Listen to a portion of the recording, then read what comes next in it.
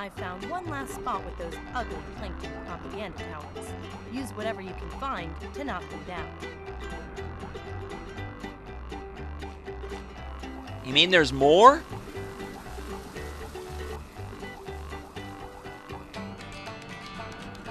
Yep, sure enough, there's more of them. The last of Plankton's propaganda towers are here on the edge of the desert. Okay, I'm just gonna point right now that Mindy is totally wrong here. She is totally wrong. Well, not. Oh, here's the thing. Those. I should say those speakers on top of those towers. They come back later in the game, but not the towers themselves. So I guess Mindy's sort of right here. The sort. She's sort of right, but not exactly. But anyways, I digress. Oh, breathtakingly evil. These tracks form part of a slide through this area. I need you two to race down them and knock those towers over. Sounds kinda hard. Don't worry, guys. Stay on the track, jump over obstacles, and hit any plankton signs you see along the way. Good luck. By plankton signs, in case you're confused here, she actually means the targets. So keep that in mind. So as I said at the end of the last episode, oh, there we go, there's one of five towers destroyed. Basically, each time you hit a target, you will destroy a tower, in probably some of the most comedic, comedic fashions ever. some of them are actually kind of funny, actually, the way you destroy some of these towers, but at any rate, um, this is this is our very first uh, sponge board level. Yes, sponge board. That the only reason I call it that is because that is what the game's uh, instruction manual refers them as. I don't have a game a video game guide for this game, but I do have the instruction guide, and that's what the instruction guide, instruction booklet, and that basically calls these levels sponge board levels. Okay, so this target will destroy a second one. And our second tower becomes a bridge for us. How lovely. Actually, it's very much lovely. Um, also, on these types of levels, you will run into uh, foggers or sometimes other types of enemies. Don't do not worry about them because they cannot hurt you as long as you're in this. But yes, you're basically in this level for whatever reason. You are sliding in a bathtub. I have no idea why, but you just are. So level is called Rub-a-Dub-Dub Slide in the Tub. Uh, but yes, essentially, these sponge board levels are this game's equivalent to these slides that you ran into in uh, Battle for Bikini Bottom. Just imagine uh, several little uh, um, sand mountains, basically. Um, now, in case you guys are wondering, I do believe there are a total of uh, there are three sponge board levels in the entire game. Um, but some of them Actually, one of them in particular is my least favorite level in the entire game, and for reasons I will begin to as soon as we get to that spongeboard level. But uh, basically, spongeboard levels are very similar to uh, Krabby Patty Wagon levels because you have the exact same missions. You have the exact, exact same four missions to do. You have the main objective mission, and then you have the regular time trial, or time challenge, I should say, the ring challenge, and then a Macho Time challenge, just like the Sponge, the, the, the Patty Wagon levels. And also, this is something I've, I haven't mentioned yet. No matter how much you upgrade your health, you will always have three hit points when you're doing Spongeboard and Patty Wagon levels. They are the the health in these levels is not affected by your upgrade upgrade health. Um, for the purposes of getting the treasure chest in this in this uh, level, it is actually impossible to get the uh, second, or I think it's the first one on the first try. It was actually over by the second uh, tower, actually. So now, um, after destroying this fourth tower, you're going to want to jump onto it because this is your how you progress through level. And now, there's actually two treasures you can easily miss here. For the first one, jump onto this platform and then jump down here. This treasure chest took me such a long time to find, but basically, yeah, you just come down here, and then you slide for whatever reason upwards. I don't know how the log how that logic works exactly, sliding upwards. But anyways, you do. And this cave will lead you to your treasure chest. Is this the first one or the second one? The first one. Okay, so the, actually, the first treasure chest is, is not accessible until the first time, like, your first time playing through this level, I should say. And now our, our last treasure chest in this level you're gonna get two by deviating away from the uh, final path here that leads to the Goofy Goober token. You jump across here, across these three platforms. That will lead you to your third treasure chest. So yes, there you go. Um, I showed you all but one of the treasure chests, and we'll be and I'll be showing the other one in the next time we come back. Once we come back to this level, after we take a look at the next level. Originally, when I when I started doing this let's play, I was actually planning on uh, cutting back to me skipping like like just immediately appearing back in this level after completing the objective, so it's not to spoil the next level. But you know what? I personally don't mind doing that for you know sneak peek, I guess. I knew you guys could do it. Here's your reward. There we go. The main objective is complete.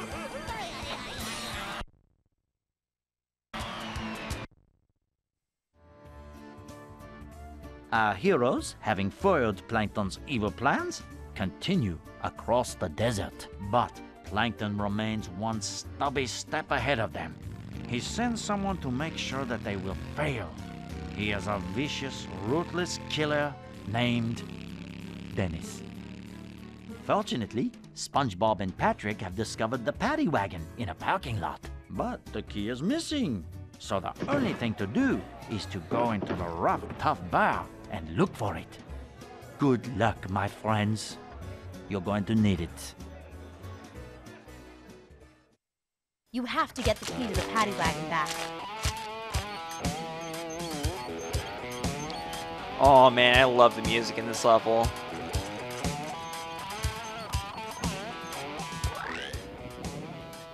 Good news, Patrick.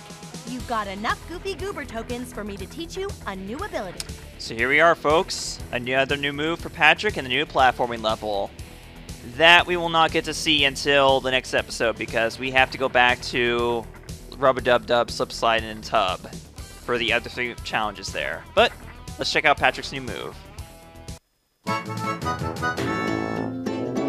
A move that he already had from the start of the game, Battle for Bikini Bottom. My flop is the mightiest flop of all! It's called the Smash. Now, this is also the most hilarious move in the game. Um, I don't know exactly if there is like a lot of speculation as to what the uh, swear word is supposed to be, but uh, I guess that that can, I guess I can uh, let you guys or leave that up to you guys in the comments below. I don't know. But yeah, I'm I assumed that since you know si- that since Mindy's uh, you know, since the first word is censored, that it's a, that it's a swear word, which is pretty hilarious. But yeah, it's it's in a Raid E game, by the way. At least I think this game's a Raid E. It could be a Raid E 10, I don't remember. But anyways, you can do the smash by jumping into the air by and pressing B. In the air? Yes, you have to be in the air for the Smash to work. You can use it to press buttons, break through floors, and even defeat enemies. The Patty Wagon is parked outside, but you'll need to get the key back to use it. That doesn't sound hard. You'll probably have to defeat all of the thugs to get to it. Not all the thugs, Mindy. Not all the thugs. That sounds hard. You can do it, I know you can. Well, if you believe in me, then I can do it. The, key to the paddy the wagon. paddy wagon. Careful. Easy. You got it!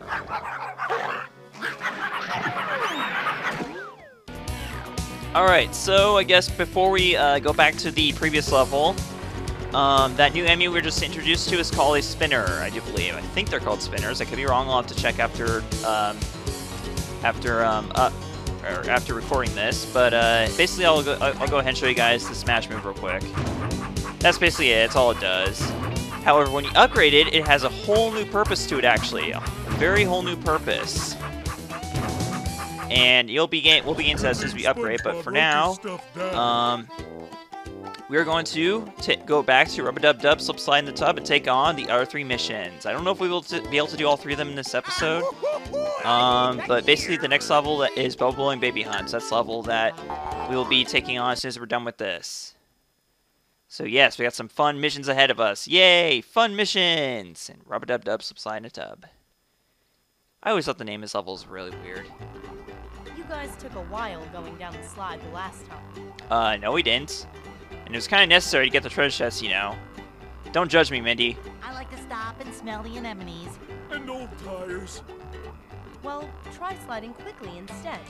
If you make it under the allotted time, you'll earn a reward. They do throw a bit, of, a bit of comedy in some of the things that Mindy says in this game. It's pretty hilarious. So anyways, for the first time trial, you're going to want to make it to the end of this- slide in, in, in less than 3 minutes and 40 seconds. Now, but you're going to want to actually... Oh my god, seriously? Okay, I'm, gonna, I'm just going to say right now, that was not my fault. That fall right there, that was not my fault at all. That was my capture card's fault because it was, you know, skipping out on me. And I don't know why it keeps on doing that. I, it just goes to show I really need to get a new capture card as soon as possible because I've had I've been using this exact same capture card for six years now, over six years, and it's really starting to have it, major issues at this point. Like it's starting to cut out a lot and whatnot, and it's gonna be a big issue if I don't get a new capture card as soon as possible here. So, anyways, this is your first shortcut you can take after the first run through level, and this will lead you to your first treasure chest, or your last one actually at this point. So there you go. We all have, we now have all the treasure chests in this level. So anyways, as I was saying there before my unfortunate death caused by my capture card, um, try to complete this time trial in less than 3 minutes and 15 seconds because that is the macho time challenge you'll have to beat. So um, just be be aware of that as you're doing this first time trial. In fact, I'll, I will be telling you guys right ahe- ahead of time what the macho time challenge is while we're doing the regular time try time challenge is, so you can try to beat that instead of the um, regular time challenge. There is, however, one exception to that. We'll begin, and that is my least favorite level in the entire game. Uh, I will say that level is not too far off. I will just say that for now. Um, but at least for now, we don't have to worry about those stupid uh, plankton towers we're going through this, and that'll already make it a lot faster than last time. But yes, once again, try to beat this in 3 minutes 15 seconds. You've already got like only a minute 15 as far as I'm concerned left. But that won't be too bad with all the shortcuts I, I'm aware of in this level, so do not worry one bit. Because as long as you know all the shortcuts make this, making this level, it, that time challenge is really not that bad at all. Even the Macho time challenge isn't that bad. Anyways, uh, avoid the steam here, of course. Yeah, um, I should also point out that in every single sponge uh, board level, you're always going to have like a different uh, thing to slide in. So no, you're not going to be sliding in a bathtub next time. You're going to be sliding something else. Um, can't quite remember. Actually, yeah, I remember what you do. Slide in the next level is in the next sponge board level. It's not really that interesting. Um, the last one, however, is very, very interesting. It's very crucial to, to the story, to plot of the movie, actually. Um, so anyways, we're not going to start taking our shortcuts here that I'm aware of. These are just the shortcuts I always take whenever I'm doing this, actually. Let's see if I can do this right. Hopefully I can pull this off. Ugh. Okay. I almost barely, I almost missed that. So you can easily mess that one up because because your jumps have to be very, very precise. But there you go. That is the quickest path you can, or uh, no, no it isn't. I don't think it is since I just failed the Macho Time challenge. Oh, it's because I because of my death. So if I hadn't died, I would have beaten the Macho Time challenge there. Wow, that was fast. Here's your reward as promised. But yeah, that is actually the fastest path you can possibly take through this. Aside from my death. I apologize about that, but again, that was not my fault. That was my capture card's fault. I've got a real challenge for you two. Oh, really? Whoa! Three-legged race? Spelling shuffleboard backwards? No, rings will appear along this slide. You have a limited time to get through each ring. I'll reward you if you get through every ring. All 77 rings to be exact. Yes. In this SpongeBoard challenge, this particular one, there are 77 rings you must get through. Um, I will tell you guys, uh, just for you know trivia purposes, which level has the most rings of any level in the entire game. I can tell you that. Uh, but for now, um, I will. I forgot to mention when I when I did the first uh, ring challenge in uh, in the Sandwich Driving 101 that not all ring challenges have the exact same amount of rings. In fact, actually, they all have different amounts of rings. That's the reason why I was counting them though in each level when I was doing the practice run. It's because I wanted to see if there's like a correlation or pattern how many rings there are, and there is no pattern at all. There is none whatsoever. It just depends entirely on the level. So, but yeah, it's uh this this one is not too bad. Although I remember struggling with this one a lot when I was younger. When I was much younger, I struggled with this one tremendously, and I hated it whatsoever so much. But nowadays, it's not so bad. I'm so used to it, I guess. I'm used to all the different turns it makes. But it'd be really nice if my capture card would cooperate with me here because this is probably the worst mission it could possibly mess up on. Actually, no, the Macho Time challenge is because, again, as you saw, I failed it in that last level because of the my capture card. Or I would have if it, if it was the Macho Time challenge, I should say. So. Hopefully that won't happen when I'm, when I'm actually doing the Macho Time challenge.